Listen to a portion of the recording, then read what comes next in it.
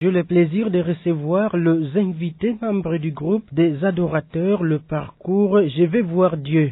Chers invités, bienvenue à Radio Immaculée Conception. Bienvenue, frère Janvier. Alors, présentez-vous confortablement à nos auditeurs.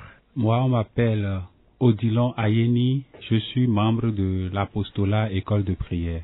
Moi, on m'appelle Anne Yao, membre de l'apostolat École de prière. Et moi, c'est Gérard Orobo, membre de l'apostolat École de prière. Voilà, merci pour la présentation. On va entrer dans les vifs du sujet. C'est quoi l'apostolat École de prière? Quelles sont les activités que mène cet apostolat? Frère Odilon, vous avez la parole. Merci, frère Janvier. L'apostolat École de prière est un espace de prière et de formation pour l'approfondissement de notre foi chrétienne c'est un apostolat qui est ouvert à tout le monde. On peut être d'un groupe à dévotion à l'Esprit Saint, à dévotion à la Vierge Marie.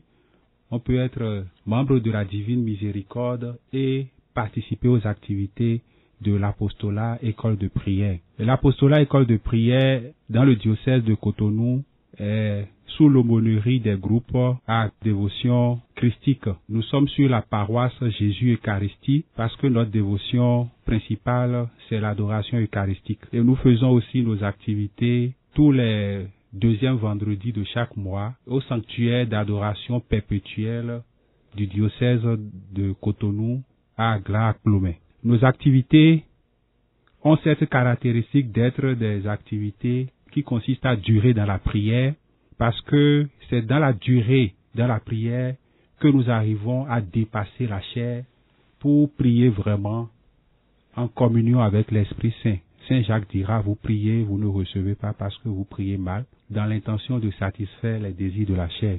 L'autre caractéristique de nos activités, c'est le silence. Aujourd'hui, de plus en plus, nous fuyons le silence.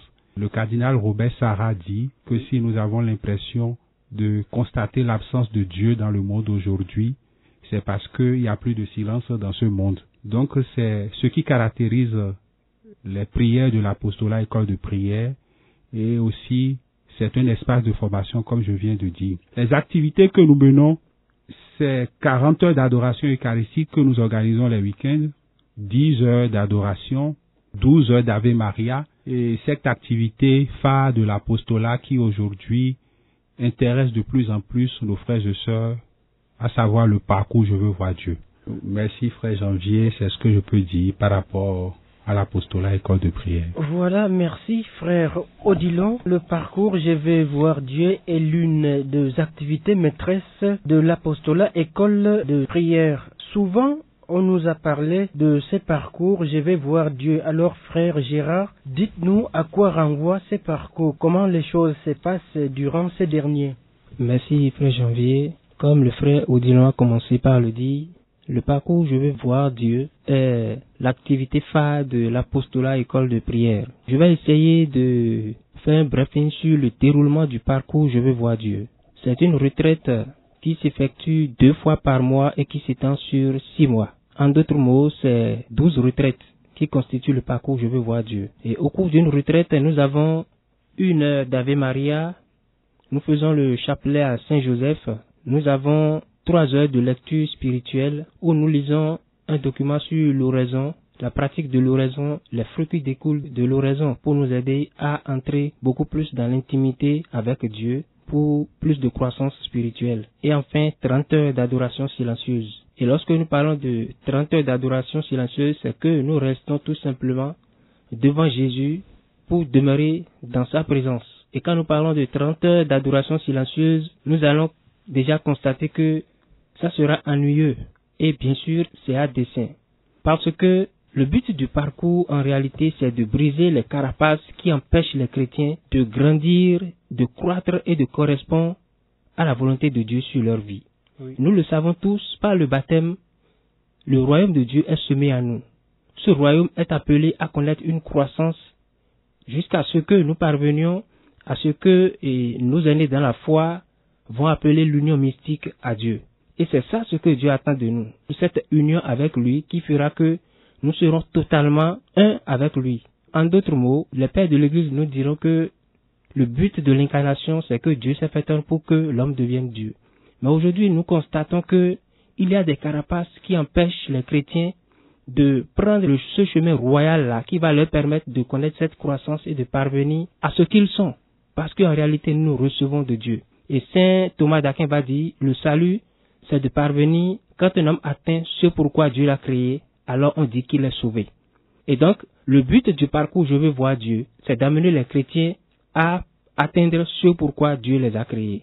Et donc, les 30 heures d'adoration qui sont instituées, nous le savons, c'est des moments de silence qui feront que nous sommes ennuyés devant le Seigneur. Il y a les ennuis, la fatigue, le sommeil, c'est-à-dire tout est au rendez-vous. Et si nous ne le savons pas faire, nous allons penser que ce temps que nous passons dans la présence de Dieu, que c'est du gaspillage. Or, en réalité, c'est là que Dieu nous attend. Le cardinal Robert Sarah nous dira ceci dans son livre La force du silence, au numéro 2, ceci.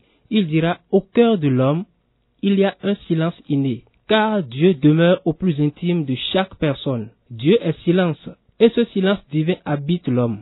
En Dieu, nous sommes inséparablement liés au silence. L'Église peut affirmer que l'humanité est fille d'un Dieu silencieux, car les hommes sont les fils du silence. En d'autres mots, le cardinal est en train de nous apprendre que quand nous demeurons silencieux devant le Saint-Sacrement, dans l'adoration, au fait, nous sommes dans la présence de Dieu. Nous sommes en train de contempler Dieu. C'est là que nous rencontrons Dieu. C'est là que nous nous laissons transformer par Dieu. Saint Jean de la Croix va dire, et c'est réel, quand l'homme naît, en réalité, son âme est vierge. Mais les situations de la vie font que l'homme a des difficultés à s'ouvrir à Dieu. L'homme met des barrières, l'homme a des prévisions, l'homme fait des programmes, et tout cela fait que l'homme n'arrive plus à faire confiance à Dieu comme il le faut, à s'abandonner à Dieu comme il le faut. Or, Dieu veut que l'homme s'abandonne totalement à lui, et le modèle le plus parfait, c'est Jésus qui a accepté donner sa vie pour nous, à qui a accepté souffrir jusqu'à aller à la croix pour que nous soyons sauvés. C'est ce modèle-là que Jésus nous présente pour que l'homme aussi puisse s'abandonner à Dieu. C'est dans cet abandon que l'homme va donner à Dieu la capacité, la possibilité de le transformer pour qu'il devienne lui afin de parvenir à la gloire qu'il lui réserve. Un modèle parfait pour nous, c'est Moïse qui a passé 40 jours, 40 nuits dans l'attente du rendez-vous, dans la présence de Dieu. Moïse n'avait pas de nourriture et il était là tout simplement dans la présence de Dieu on peut dire que Moïse a fait déjà cette expérience-là que nous sommes en train de faire. Moïse serait ennuyé, il serait fatigué, il serait pris par le sommeil, mais il est resté 40 jours, 40 nuits. Il a tenu dans le silence, dans la contemplation. Mais quand il est sorti, il était tellement rempli de Dieu, au point où on ne pouvait pas le regarder, il était obligé de mettre un voile sur la tête. Nous pouvons dire que ce modèle, ce que Dieu veut pour nous les chrétiens, Dieu, il a commencé déjà par le manifester par Moïse. Et Jésus est venu pour concrétiser, pour aller, pour nous montrer le chemin royal que nous devons entreprendre, qui n'est rien d'autre que lui-même, l'union à lui, à sa personne, qui pourra nous introduire dans ce règne de Dieu. Parce que Jésus est monté dans l'ascension, dans son corps et dans son âme. Ça veut dire que Jésus a déjà introduit notre humanité dans le cœur de Dieu. Et même au cœur de l'Eucharistie, le prêtre dit, comme cette eau est mélangée à ce vin, puisse notre nature humaine s'unir à la nature divine. Ça veut dire que le plan, le projet de Dieu pour nous, c'est que nous soyons transformés jusqu'à devenir lui, jusqu'à vivre de lui, demeurer en lui et nous perdre totalement en lui, en d'autres mots, devenir Dieu. Et donc le but du parcours Je veux voir Dieu, c'est de nous aider à nous abandonner, à nous oublier dans le silence, dans la contemplation, demeurant tout simplement dans la présence de Dieu, devant Jésus Eucharistie, dont Moïse Zundel nous dira que l'Eucharistie est une fenêtre qui s'ouvre sur l'éternité et qui veut dire en d'autres mots que tout le temps que nous allons passer, même si nous sommes longs, même si nous nous ennuyons, même si nous sommes fatigués devant le Seigneur, ce temps-là n'est rien d'autre qu'un temps que nous passons déjà dans l'éternité qui est notre patrie, ce à quoi nous aspirons et qui n'est rien d'autre que cet état mystique à laquelle nous sommes préparés et dans lequel nous entrerons quand nous allons passer de cette vie à trépas si nous nous laissons transformer par Dieu au travers de l'adoration. Donc c'est un peu le but pour lequel le parcours nous est proposé pour faire naître en nous la soif de l'adoration. Parce que quand nous vivons le parcours, ça fait naître en nous la soif de l'amour de Dieu. Et cela fait que quand nous finissons le parcours, nous ne sombrons plus dans la négligence, dans la paresse dans la prière. Nous prenons l'aptitude désormais d'aller devant Jésus, de passer des heures d'adoration devant Jésus. Et pour donner mon propre exemple, je dirais, après le parcours, l'année dernière, il m'a plu de prendre 40 jours pour me retirer. C'est vrai que j'allais au boulot, mais quand je reviens du boulot, je vais au monastère, j'étais avec un autre frère et nous restons là. Nous prions de 19h à 0h, parfois de 19h à 1h ou bien même à 2h, parfois 3h du matin avant de nous reposer. Le lendemain encore, on va au boulot. Je peux dire que tout cela fait partie déjà des fruits du parcours. Et parfois même au boulot, tu sens que à un moment donné, tu as envie de te recueillir, d'entrer en toi-même et de goûter à la présence de Dieu qui vient te visiter parce que tu sens au fond de toi une motion, tu sens au fond de toi que tu es appelé à entrer en contact, en communion avec Dieu dans le silence. Tu te recueilles et puis tu goûtes Dieu et tu continues à faire ton, travail. Donc en résumé, c'est ce que je peux dire par rapport au parcours Je vais voir Dieu et les, les fruits qui en découlent. Merci, frère Janvier. Voilà, merci frère Gérard pour euh, tous ces détails. Voilà, nous avons avec nous une sœur, elle c'est la sœur Anne-Marie. Elle a suivi les parcours, elle va nous dire qu'est-ce qui a concrètement impacté sa vie durant ces parcours. Sœur Anne-Marie, vous avez la parole. Merci beaucoup, frère Janvier. Pour moi, généralement, on se dit qu'on connaît Dieu, qu'on est conscient de cet amour que Dieu a pour nous et qu'en retour nous aimons également Dieu. Mais après avoir fait le parcours, j'ai découvert que c'est totalement une autre réalité. Après avoir fait le parcours, j'ai commencé par aimer les temps, ces temps que je passais en présence de Dieu, au point où ces moments que j'ai eu à passer avec Dieu me manquaient quand j'y suis pas. Avant, je n'arrivais vraiment pas à supporter le silence. Je cherchais même des prétextes pour fuir le silence par d'autres occupations. Mais après ce temps, cette expérience que j'ai eu à faire, j'ai découvert que Dieu est plus présent dans le silence qu'ailleurs. Je peux simplement dire aujourd'hui qu'au parcours qu'on goûte vraiment Dieu. Et aussi, j'aimerais partager avec vous les témoignages de quelques frères et sœurs qui ont également fait l'expérience du parcours Je veux voir Dieu. Il y a une sœur qui dit, je dis merci au Seigneur de m'avoir choisi pour le parcours Je veux voir Dieu. J'ai connu le parcours à un moment où je traversais une douleur. Je venais de perdre ma fille qui a connu beaucoup de souffrances avant sa mort. J'en voulais au Seigneur. C'était une blessure intérieure. J'avais une rancœur vis-à-vis de Dieu pour cette situation, mais aussi pour la perte de mon papa. À travers mes temps d'adoration, j'ai été guéri de toutes ces douleurs. La divine miséricorde m'a guéri.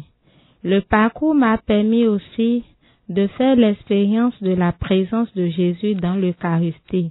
C'est très fort ce que je ressens chaque fois que l'hostie ou le calice sont soulevés à l'autel.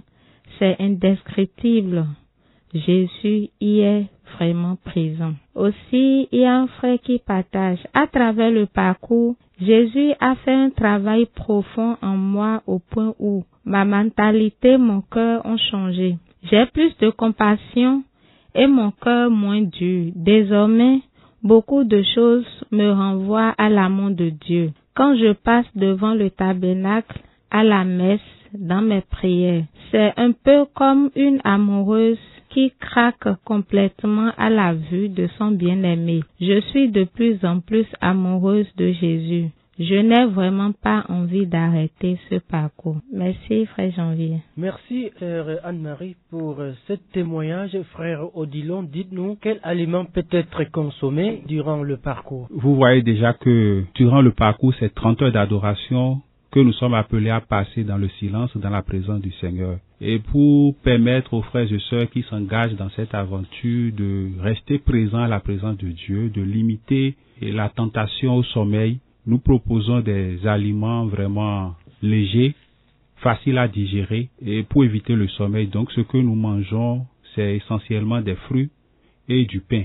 D'accord, merci pour cette précision. Nous allons à présent passer rapidement à la deuxième partie de cette émission. Voilà, pour réussir le carême 2024, l'apostolat s'apprête à organiser 40 nuits d'adoration eucharistique. Dites-nous comment les activités de ces nuits d'adoration seront organisées et pourquoi l'apostolat propose cette activité aux frères et sœurs. Merci, frère Janvier. Nous le savons tous en tant que chrétiens catholiques que les temps de carême sont des temps bénis, des temps de faveur divine que l'Église nous propose pour vraiment recevoir du cœur débordant d'amour de notre Seigneur Jésus de multiples grâces. Mais généralement, les chrétiens passent ce temps avec beaucoup de négligence et beaucoup de distraction et nous ne tirons vraiment pas les fruits qui nous sont réservés pendant ce temps de carême-là. Alors, cette activité que nous proposons, 40 nuits d'adoration eucharistique, c'est pour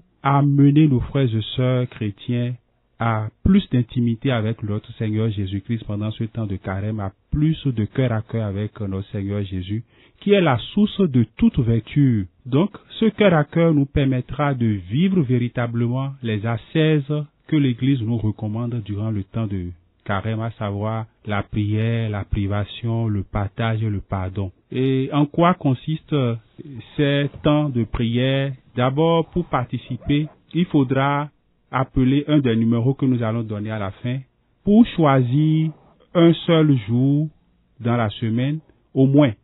Si vous avez la disponibilité d'aller au-delà, c'est bien, mais tout au moins vous choisissez un jour où chaque nuit, pendant ce jour-là, chaque semaine durant le temps de carême, vous venez pour adorer Jésus de 21h à 6h du matin.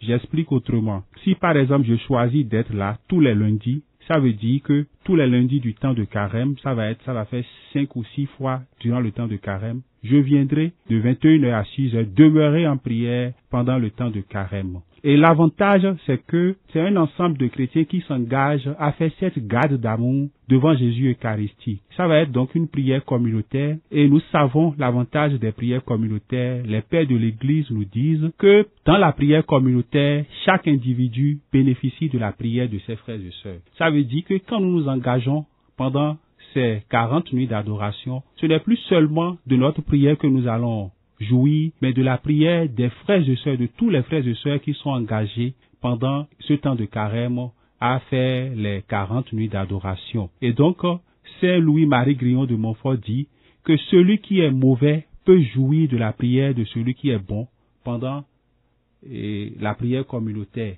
Celui qui est moins fervent peut jouir de la prière des personnes ferventes.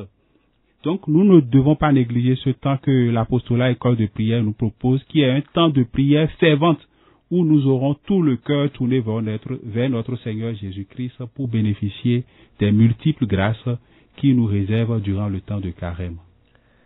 Voilà, merci pour ces détails, le frère Odilon. Tout est clair. Voilà, même si vous êtes un employé du bureau, euh, quelqu'un une personne qui exerce une activité, vous êtes donc invité à consacrer un seul jour seulement au Seigneur, le temps pour vous de les prier afin qu'il vous accorde sa grâce pour votre travail, pour votre emploi. Quels sont vos derniers mots, chers frères et sœurs? Frère Girard Merci, frère Janvier. Mon dernier mot par rapport à cette émission ira dans le sens de l'activité que le frère Odilon vient de présenter. Et moi, je dirais que le temps de carême est un temps d'entraînement au combat spirituel. C'est ce que l'Église nous enseigne. C'est donc un moment vraiment précieux où l'Église, par le Christ, nous offre la possibilité de nous détacher de tout ce qui nous empêche dans notre élan ou bien tout ce qui freine notre élan à la suite du Christ. Tout à l'heure, en parlant du parcours, j'ai fait allusion à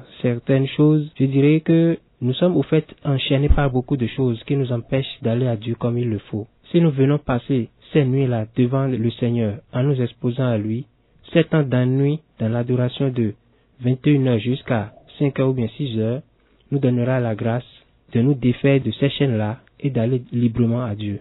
Merci, frère Janvier. Oui, la sœur Marie-Anne. Oui, frère Janvier. Si moi aussi j'ai quelque chose à dire, c'est simplement inviter massivement nos frères et sœurs à venir faire l'expérience à partir de ces 40 nuits qui nous est proposé pour vivre un moment de cœur à cœur avec le Seigneur. Il est simplement question de choisir une nuit dans une semaine, si tu choisis mardi, c'est que tous les mardis, si c'est mercredi, tous les mercredis, durant tout le temps de carême, tu viens passer un temps de cœur à cœur avec ton bien-aimé. Merci et vous n'allez vraiment pas regretter ce temps et que Dieu nous bénisse. Oui, frère Odilon. Oui, je voudrais rappeler que ces 40 nuits d'adoration auront lieu au sanctuaire d'adoration perpétuelle d'Agla à Et rappeler aux frères et sœurs, vous venez d'entendre les témoignages sur le parcours Je veux voir Dieu. C'est une opportunité que nous donnons à tous ceux qui n'ont pas le temps peut-être de faire ce parcours, de venir expérimenter. Ceux qui veulent avoir un avant-goût du parcours, de venir expérimenter à travers cet temps d'adoration. Et nous rappelons que toutes les activités de l'apostolat école de prière, le parcours Je veux voir Dieu dont nous venons de parler, les 40 heures d'adoration, la participation est gratuite. Nous prenons les dispositions. L'apostolat supporte les coûts pour que les frères et sœurs puissent venir adorer Jésus gratuitement.